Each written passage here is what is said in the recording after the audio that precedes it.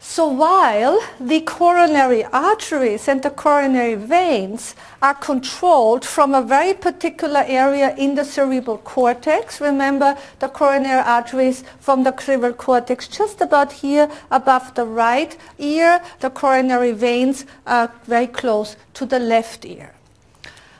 Let's look at the myocardium the myocardium, that's the heart muscle now, okay? So the, uh, the myocardium, the heart muscle, has two control centers. The heart muscle itself is controlled from the cerebral medulla, which is the interior part of the cerebrum. The heart muscle itself, as I said, is controlled from the cerebral medulla and we have, I have here the diagrams, a control center for the right and for the left heart muscle. Remember, we had the twisting of the tube, so we do have two halves of the heart. So one half is controlled from one brain hemisphere, the other from the other. I have here a brain scan where I just copied these uh, images on so we can see the cerebral medulla is on a quite low layer of the brain in about in this area here and then we have the control center uh, in the motor cortex. So above here, we see much higher level here. And the motor cortex controls the pumping motion of the heart, so the contraction of the heart. Okay, so we differentiate. The heart muscle itself is controlled from the so-called cerebral medulla, but the pumping motion of the heart is controlled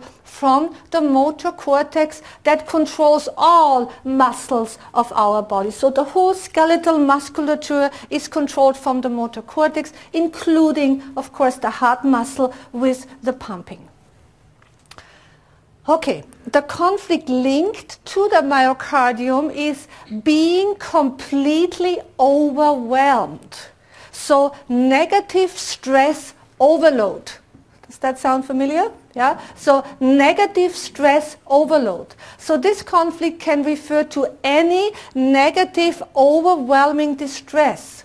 For example, uh, work-related distress, uh, family or relationship-related distress, money-related distress, and so forth. I think I don't have to explain more. We know what that means. It's just, as we would say in plain English, too much on the plate, too much negative on the plate. Okay? So let's see what happens. Okay, in this way we learned at the beginning the five biological laws. So we can appreciate why some, some uh, um, uh, tissues make cell proliferation in the conflict active phase in order to assist us during the conflict resolution, while others make tissue loss, like we have seen with the coronary arteries. Okay, so as soon as this overwhelmed conflict occurs, it impacts, in fact, in both brain relays. So in the, in the relay that controls the uh, heart muscle itself and in the motor cortex. And the program is switched on. So during the conflict active phase, we see now necrosis, so tissue loss of the heart muscle. So that's in the active phase. Tissue loss of the heart muscle and at the same time, since the motor cortex is also controlling that, we have partial paralysis of the heart muscle. So I repeat, the tissue loss of the heart muscle is controlled from the cerebral medulla and the partial paralysis of the heart muscle is controlled from the motor cortex.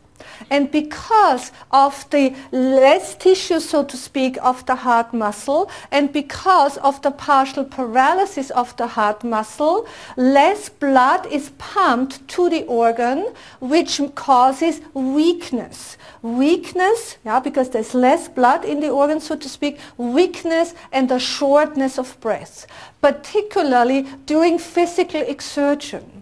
So if uh, the person is very conflict active, so the conflict activity being really overwhelmed in this conflict active phase, the, this, uh, the person has this weakness and shortness of breath even with slight exertions. Okay, slight during and after exertion. So we want to keep this in mind, my friends, because this is all part of prevention. Because all of a sudden you realize, well, you know, I'm not doing well. I'm just very weak. I'm used to run and do things, and now after five uh, uh, steps, I have to sit down, right? Uh, this is already, and we know, of course, this is not abstract. We know we are in an overwhelming situation. But when we have these particular symptoms, we know, gling, gling, gling, hey, my my myocardium, my heart muscle is involved, so I have to slow down. I have to start either delegating or find partial resolutions because if this is going on uh, for a longer period of time, this is going to be uh, potentially difficult. Okay? So again, a symptoms that indicates to us, hey, what is going on in my life is just too much. I got to do something. If it's angina, whoop, it's a territorial loss. So we, we know how to calculate. We know what is behind the symptoms. If there is this weakness, right, then um, uh, we know that the myocardium is involved.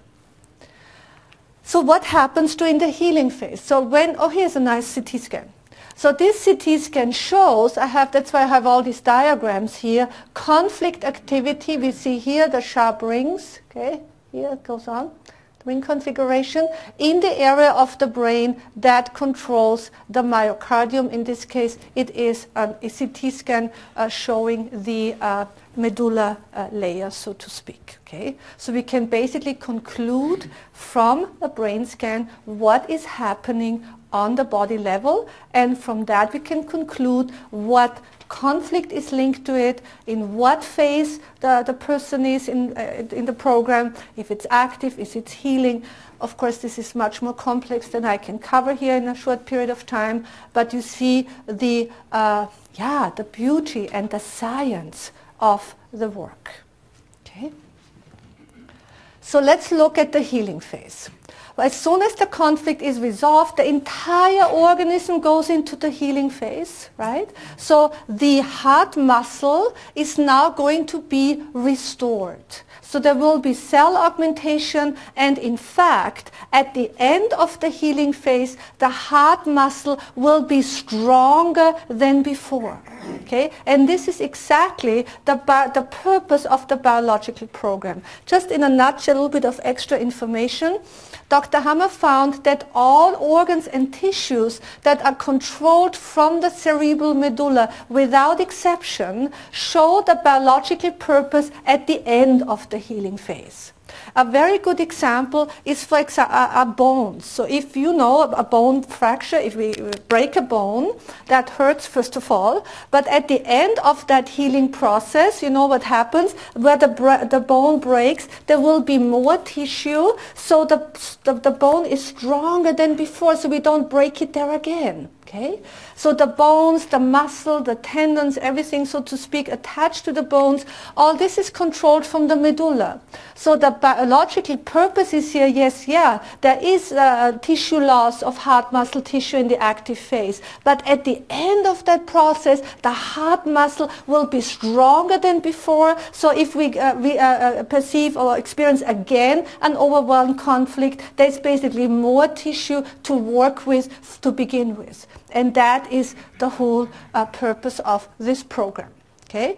But we want to, of course, also look, as always, on the brain level. Because as we learned, healing always occurs in, uh, in, a fluid environment. So as to be expected, in phase A of healing, we have the brain edema. That's a beautiful scan. We see the brain edema, the water pockets here in dark, in the area of the brain that controls the myocardium. So during the healing phase, there will be the, as I always call it, the obligatory almost brain edema in that area. And of course, as always, we have to be uh, uh, think in preventive terms because the sooner we resolve the conflict, remember what we learned before, okay? The, if we slow, uh, downgrade the conflict, if we resolve the conflict as soon as we have a chance, then we prevent basically a large brain edema, which is a healing symptom, a healing process, because only when the large, uh, when the brain edema is large, then the epicrisis, of course, could be potentially potentially quite difficult. And this is exactly what happens um, during the myocardial attack or heart attack. Okay, so the myocardial attack occurs, as we now already, of course, understand, during the epileptoid crisis when this brain edema is pressed out with this sympathicotonic stress push. Remember, at the height of the healing phase, we are in deep vagotonia, and all of a sudden, the whole organism is pulled out of this vagotonic state, put back into a sympathicotonic active phase in order to press this edema out. This is the whole idea. This is the purpose of that. So because afterwards everything can go back to more normal. This is what we want to call the healing crisis. But we, of course, we have to see this in a positive light because this is necessary so everything can go back to normal. So let's look at the details now. So now since the, we're talking about the myocardium, since the motor cortex is involved and controls the whole process, now we're seeing during the epicrisis cramps, okay? Now we're seeing actually muscle cramps of the, uh, uh, uh, of the myocardium because that muscle cramp is controlled from the motor cortex which controls the contraction of the heart. It's like a thunderstorm, it's like an earthquake earthquake in there, and that causes uh, this, this big uh, painful cramping. Okay? Has nothing to do with the coronary arteries. Okay? That's why I keep repeating this. This is a real hard muscle cramp. Okay, so depending on the intensity uh, of the epicrisis, which is determined by the intensity of the conflict active phase, right? So depending on the intensity of the epicrisis, this symptom can range from uh, trembling, so from light trembling, to actually very strong uh, convulsions of the heart muscle. At the same time, we have tachycardia, so again, a rapid heartbeat, which is caused by the rapid contraction or contraction of the heart muscle. You see, we have again very uh, distinct symptoms. At the same time, cold sweat, nausea, this is always when uh, uh, epicrisis occurs because the epicrisis is revisiting the conflict active phase. So if we are stressed out, if we are uh, distressed, if we're in conflict active phase, hey, we are nauseous, we can't eat. so we see there is, we have the cold hands. It's a real revisit of the sympathicotonic state for the purpose of pressing that edema out. So we really, really uh, recognize uh, the symptoms and what is going on. Okay? Well, well, well. And as we see now, there's absolutely no correlation between a myocardial heart attack and elevated blood pressure and elevated cholesterol as claimed by conventional medicine. Because the myocardium is controlled from the cerebral medulla and from the motor cortex while elevated cholesterol relates to the coronary veins and the coronary arteries and the uh, cholesterol level only rises if a biological program is in action. In other words if one of the two coronary vessels needs to be repaired. So either way it's good. Either way it's positive. But there's absolutely no link between the two. And this explains this. About half of the patients who are admitted to hospitals for a heart attack have normal cholesterol levels. Okay, now we understand. And from now on, my friends, you're going to uh, read the newspapers differently. You read the medical journals differently because now you can use German New Medicine and you can put that as a, as a background information or front uh, uh, uh, information and now everything falls into place. So if you read this after two hours sitting in here, you know that these people who have heart attacks, who have a normal cholesterol level, have a myocardial attack. And the whole theory that these cholesterol plaques cause the myocardial attack is basically, sorry to say this, out the window. Okay? And I'm not cynical, I'm not bashing anybody, I'm not bashing conventional medicine, but I do have a scientific background. And I've learned in my uh, school in Austria, you know, to be precise with our work. If we do this in the humanities, that's fine. But this is not the place, medicine, to do these kind of things because this is about our health and we have to rely on good science. And good science means the established theory has to be reproducible in each and every patient's case. Period. Okay.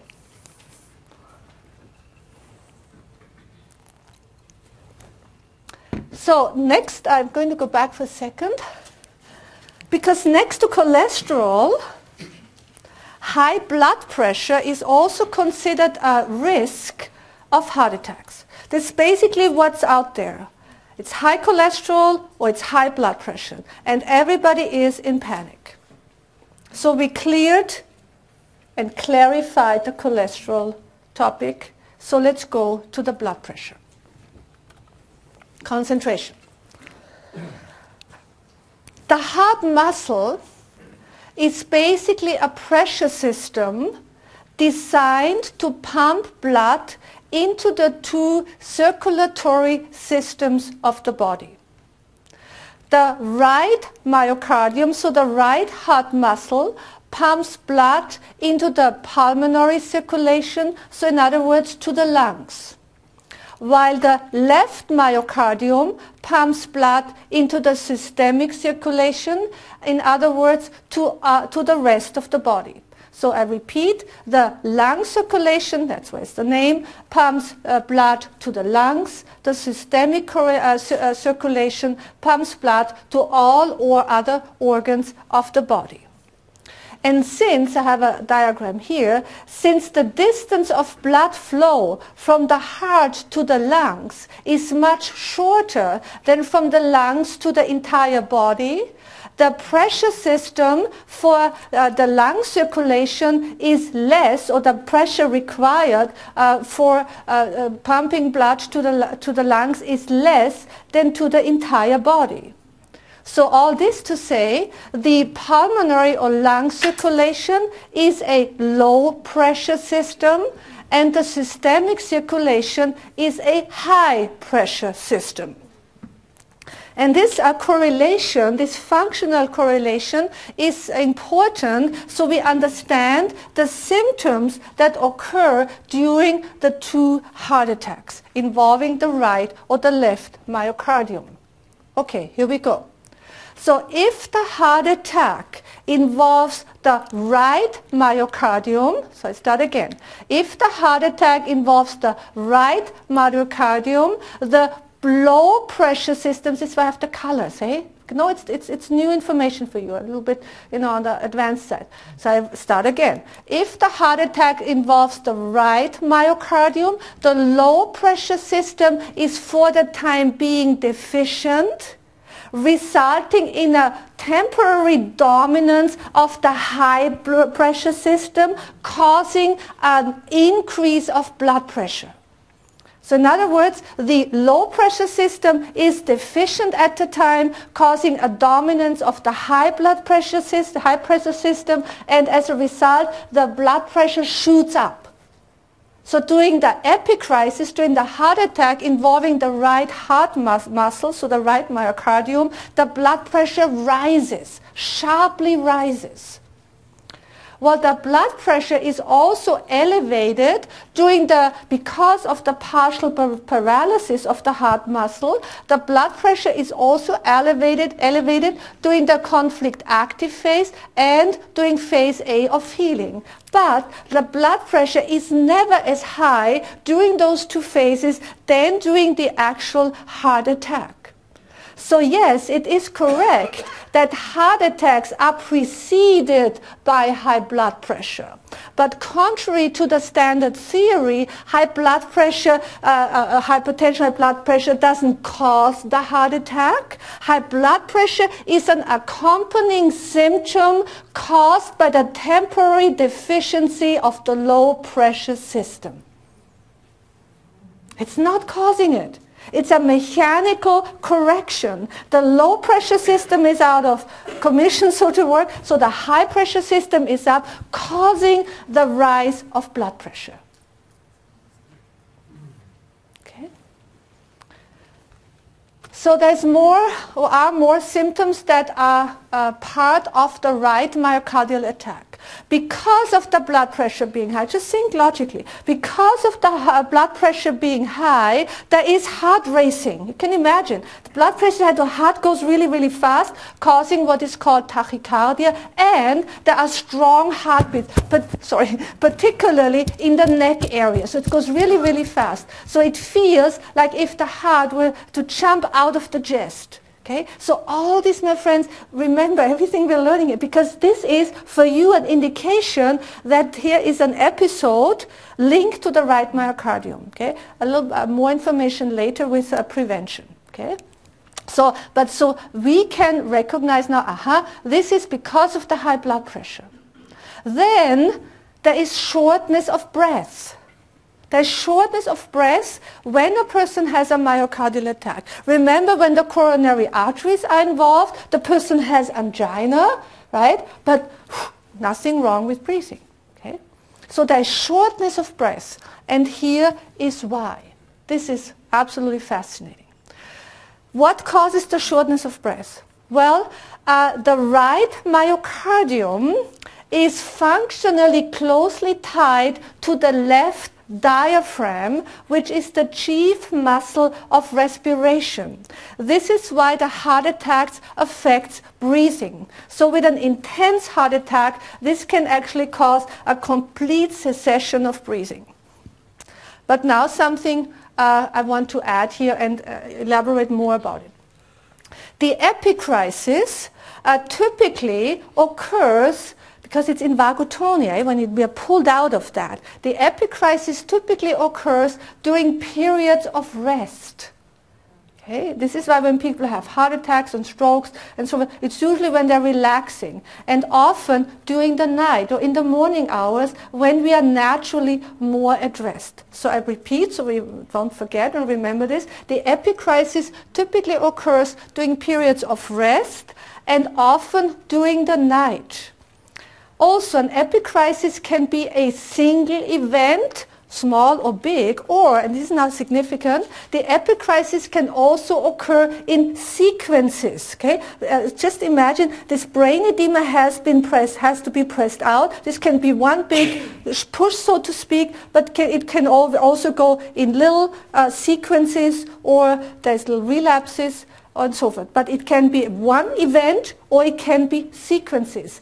Um, uh, uh, nighttime coughing fits would be a good example. Coughing fits are epicrisis. Okay, this is basically, since we have a little bit more time today, the the the, the um, the uh, bronchial muscle, okay, we're talking about the bronchial muscle now, so it's the same here, it's this contraction of the, the, the bronchial, so the muscle causing causing these coughing fits. It's exactly the same like the heart muscle, but it just happens in the lungs. Okay? So, you see, it's the same principle.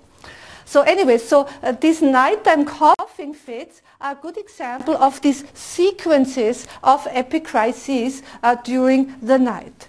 And if this involves, if it, this involves the myocardium, this results uh, in uh, episodes of cessation or short episodes like coughing fits, in short episodes of cessation of breathing with uh, typical with gasping for air, with uh, um, uh, uh, struggling for breath, and episodes of choking, choking, choking, sorry. And this is what is called sleep apnea. Okay?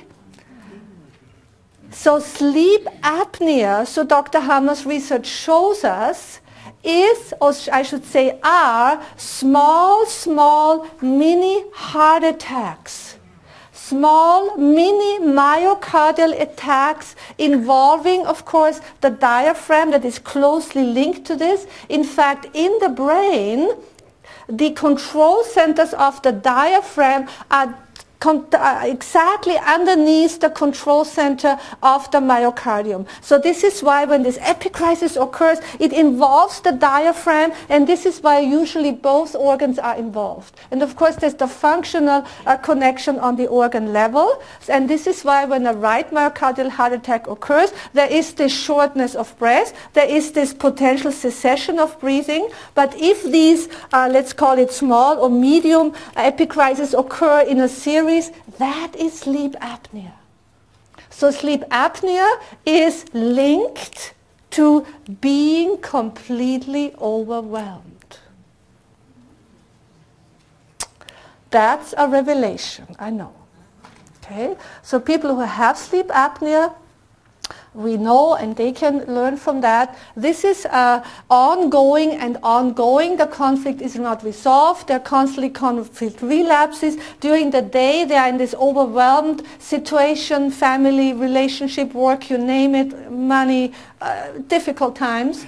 And during the night, of course, there's rest, and this is when they have the sleep apnea. And next day, sing, sim starts again. Okay? So this work, Dr. Hamer's beautiful work, gets us really to the bottom of things, and people do know their conflicts. So if we ask a person uh, that this is linked to being overwhelmed, they know exactly what overwhelmed means in this case. There is a case that was documented in one of uh, Dr. Hamer's books where a woman had ongoing sleep apnea because of being overwhelmed concerning her son, who has, you know, was involved with drugs and in and out of jail and all these difficult things. But of course, when if we don't know that this is linked to a very particular situation in our life, we cannot complete the healing. And for us who know this in advance, and this is why we should know and learn the work as soon as possible, as early as possible, so we are ready when things happen, that we know where to put the finger. And this is the psyche, our emotions. Yes, our soul because that's what the word psyche really means. It means the seat of the soul. The ancient Greek knew this a long time ago. Yeah. Okay, so now we look at the left myocardium if the heart attack involves the left myocardium, we basically have the uh, opposite scenario. Now the high pressure system is for the time being deficient. As a result, the low pressure system, I should point out, the low pressure system is dominant, causing an instant drop of blood pressure. So exactly the opposite. So when the left myocardium uh, basically goes through the epicrisis, the blood pressure doesn't go up, but drops instantly or very, very fast and, and, and acute, uh, causing in intense cases or in severe cases a complete collapse of the circula- circulatory system and person basically is out. Okay? Um, then we also see tachycardia, a fast heartbeat. In this case, uh, the fast heartbeat is caused by uh, the effort of the heart muscle to pump blood into the system, and that causes, of course, a heart racing. And what we see now, there is absolutely no correlation to cholesterol. Okay? So the cholesterol level is in the normal range. And this explains uh, why people have heart attacks with, as we've mentioned before, with a normal cholesterol level. So, my friends, this is such invaluable information because we, as learning the work, and we rely on ourselves because, as we know, Dr. Hamer's work has been suppressed since the very beginning so if we are not learn the work in schools, at the university, uh, that medical doctors have a chance to learn this and, and practice this, we are on our own, which is fine. This is why we're here. And learn the work, it's not difficult. The, sim- the system is always the same. It's a lot of information, lots of details, but when we understand the principle, then everything falls into place and we can look things up. Okay? You know the difference between a professor and a student? The professor knows where to look things up. It's the only difference. Okay? So, same here.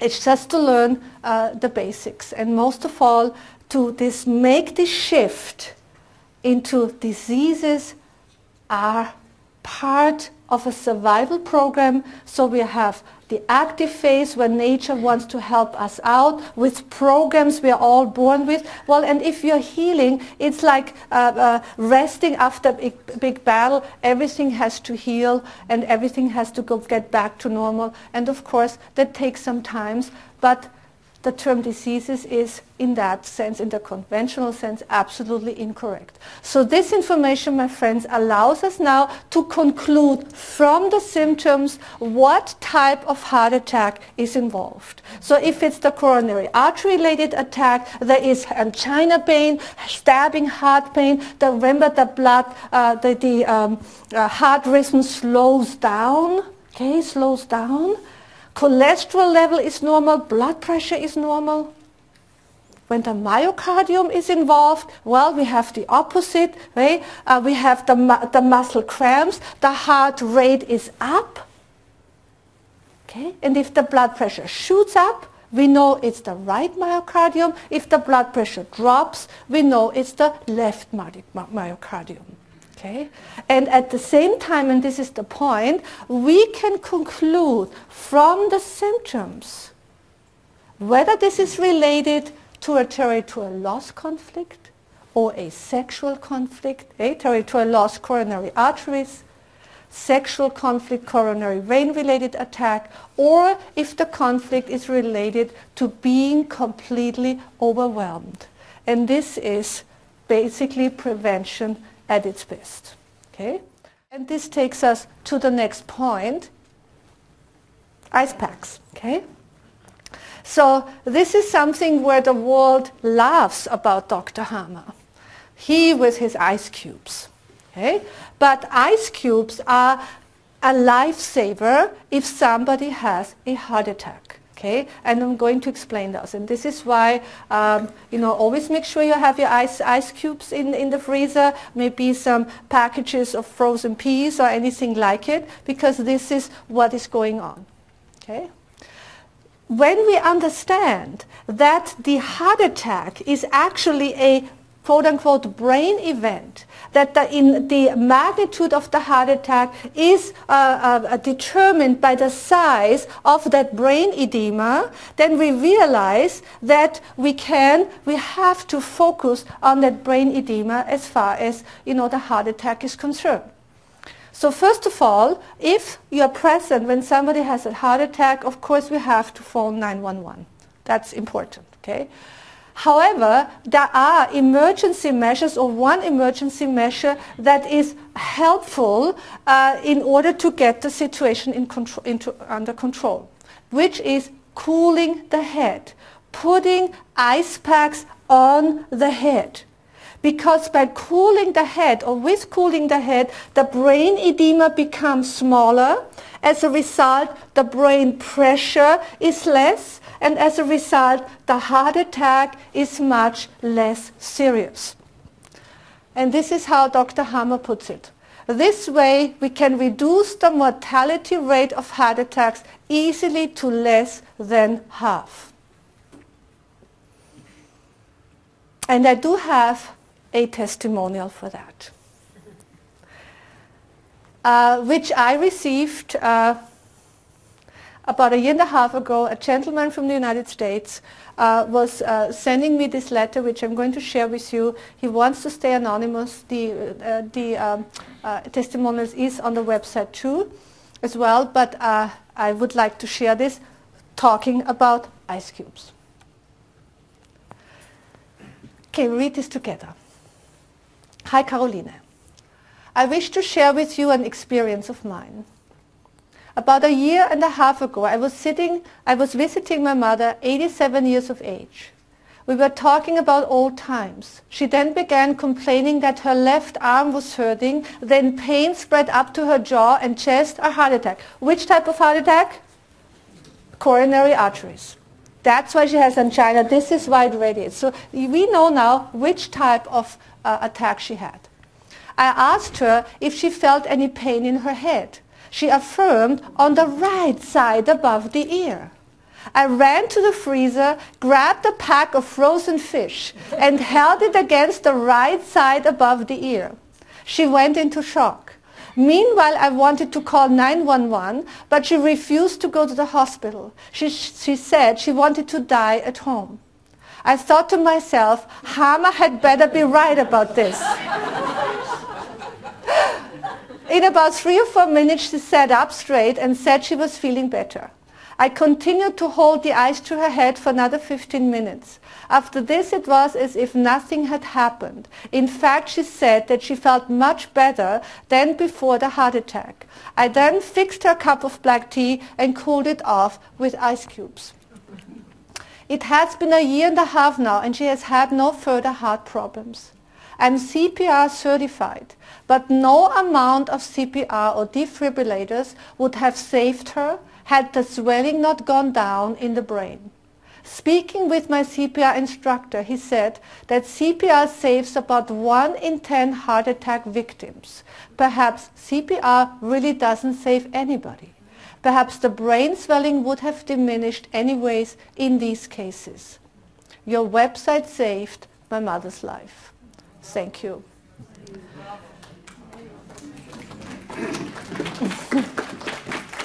but my friends, I'm trying to do my very best with conveying this beautiful work. But the fact is, I'm just a messenger.